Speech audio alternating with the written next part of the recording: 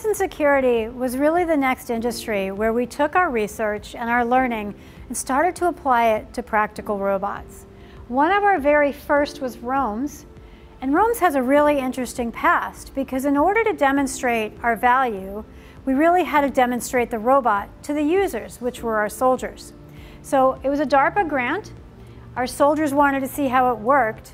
And this is back in the very late 90s. And what we did was to send our founder, Helen Greiner, and another woman with the robot to demonstrate to the soldiers.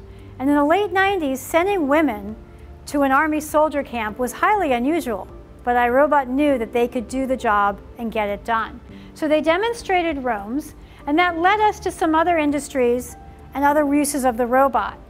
We had developed a robot here called Ariel, and Ariel works along the waterfront looking for buried munitions, mines, things that are in that water that we can't see. That ability to search all throughout the area led to two different things. Immediately, it led to a robot here that was looking for those same mines, buried munitions, using magnets at the front. But again, remember, a lot of what we develop comes back later in another product as we've learned and developed the technology. Ariel searched along that waterfront. It covered every square foot that it was able to search. The initial Roomba design was based off of Ariel's ability to cover every square foot.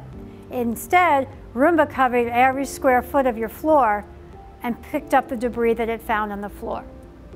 These were the early versions of the robots. Eventually, time evolved and we were seeing that there were more and more conflicts in places like Iraq, in Afghanistan. And a lot of that required things like cave clearing, mine hunting, buried IEDs. And so we had to develop a robot that was able to do that work and help those soldiers alongside. That robot became known as PackBot. We're going to go take a look at PackBot and see how it evolved. So PackBot evolved from our earlier designs, and PackBot is really a versatile robot out there helping our first responders, our SWAT teams, police officers, and those Army soldiers. PackBot had treads, which enabled it to be outside, going across any different kind of terrain. The robot's outfitted with a gripper to pick up objects and cameras on top as well as mounted around the robot. We're driving the robot with a laptop and eventually we moved over to a game controller because it made it very easy for us to instruct people how to use the robot, make that training really fast, and make it easy to use in the field. One of the really unique things about the PackBot is this arm. The arm actually extends to about 8 to 10 feet. However, we have to think about it. How do we keep that robot stable? Well, what's interesting is once again, we go back to our earlier designs. Way back when we worked on toys, we made a dinosaur, it's raptor. And as you can see, it's very heavy in the middle. And then of course we stuck a really heavy head on the end because raptors had very large heads. Well, if you're a walking two-legged dinosaur with a heavy head, you're gonna tip over. You're gonna tip forward. So we gave the dinosaur a really long tail, and that balanced out the robot. PackBot has a really heavy center of gravity. It's in the middle. Once we extend that arm, we need to balance it.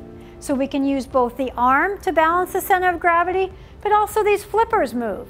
And that allows us to keep that robot stable. We'll take a look also later at Kobra, whereas PackBot weighs about 50 pounds, Kobra's 500 pounds. We do the exact same thing. We can balance with the position of the arm as well as those flippers. Where do we use these robots? Again, evolution of time. Things like Iraq, Afghanistan were starting to be more prominent in our world, in our history. Those areas had a lot of caves. We were doing cave clearing. And at the time, the way they were doing cave clearing was to send somebody inside with a rope and a knife, and if something happened, they'd pull them back out. To iRobot, that was unacceptable.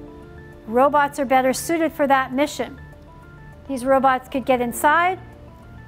We could use the video to see what was going on in the cave.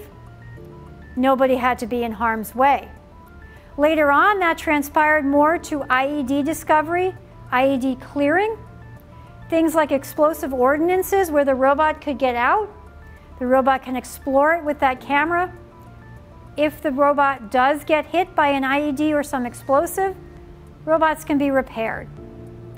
Later, as we travel through time, these robots were used places like 9-11.